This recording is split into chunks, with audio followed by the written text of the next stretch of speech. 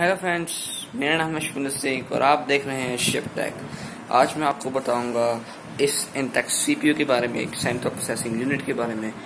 तो चलिए शुरू करते हैं। तो यहाँ पे आप फ्रंट में आप देख सकते हैं, यहाँ पे काफ़ी सारे आपको यहाँ पे स्लॉट्स मिलते हैं पोर्ट्स मिलते हैं। तो सबसे पहले मैं आपको पोर्ट्स के बारे में बता दूँ। तो यहाँ पे दो यू एस पोर्ट्स मिलते हैं तो हेडफोन जैक ऊपर इंटेक्स की ब्रांडिंग और एक एलजी की डिस्क ट्रे जो हमारी सी पी यू की लेफ़्ट साइड है, उसमें आपको काफ़ी सारे वेंट्स मिलते हैं। आप दिए जैसे दो वेंट्स मिलते हैं। और जो इस साइड है, वो आप पूरी क्लीन है, आप अच्छी तरह से देख सकते हैं। वो फ्रंट साइड के नीचे आपको एक यहाँ पे आपको पावर बटन मिलता है और इसके नीचे एक रिस्टार्ट बटन मिलता है।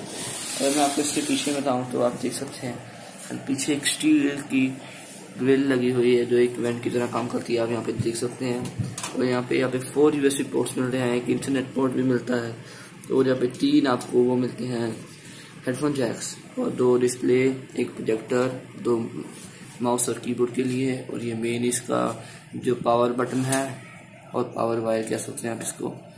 और ये इसका वेंट है, एक फ़ैन है। नीचे यहाँ पे आप देख सकते हैं, यहाँ पे भी आप कुछ रख सकते हैं। लेकिन रखने के लिए यहाँ पे जगह नहीं है। यहाँ पे कुछ अच्छी सी अगर आप यहाँ पे कुछ लगाना चाहें तो एक्सटर्नल डिवाइस वो लगा सकते हैं आप। तो तरह से देख सकते हैं यहाँ पे और एच एच लिखा हुआ है यहाँ तो मैं इसको आपको खोल के बताता हूँ। तो फ्रेंड्स इसको खोलने के लिए यहाँ पे आपको दो यहाँ पे स्क्रूज मिलते हैं। एक इधर और एक इधर। मैंने वो स्क्रूज निकाल दिए हैं, आप देख सकते हैं। तो वो दो स्क्रूज उसमें यहाँ पे निकाल दिए हैं, इसको साइड रखते हैं और हम इसको खोल के देखते हैं इस बारे में। और देखिए ये एक, आप देख सकते हैं, ये प्लास्टिक का नहीं है, ये लोहे का है। इसे मैं साइड पे रखता हूँ तो बीच में मिलता है आपको एक बड़ा सा फ़ैन आप देख सकते हैं, एक वेंट है। और यहाँ पे काफ़ी सारी वायरिंग की हुई है, जो हमें इतनी अच्छा से पता नहीं चलेगी क्या कहाँ पे कौन सी वायरिंग है। तो मैं आपको सिंपल से मेन से बता देता हूँ। जो हमारी हार्ड डिस्क है, वो यहाँ पे होती है। ये देखिए, ये हमारी हार्ड डिस्क है। ये देखिए। ये हमारी हार्ड डिस्क है, आप देख सकते हैं। ये हमारी हार्ड डिस्क है। तो काफ़ी गंदा हुआ हुआ है ये अंदर से। और मैं आपको रैम की बात कराऊँ तो यहाँ पे हमें इसकी रैम मिलेगी। ये इसकी रैम मैं आपको निकाल के दिया, दिखा देता हूँ एक बार। तो आप देख सकते हैं, ये इसकी रैम है, ये फोर जी की रैम है, आप देख सकते हैं। इसके आप देख सकते हैं, यहाँ पे काफ़ी कुछ लिखा हुआ है। आप देख सकते हैं, अच्छी तरह से यहाँ पे मेड इन चाइना लिखा हुआ है।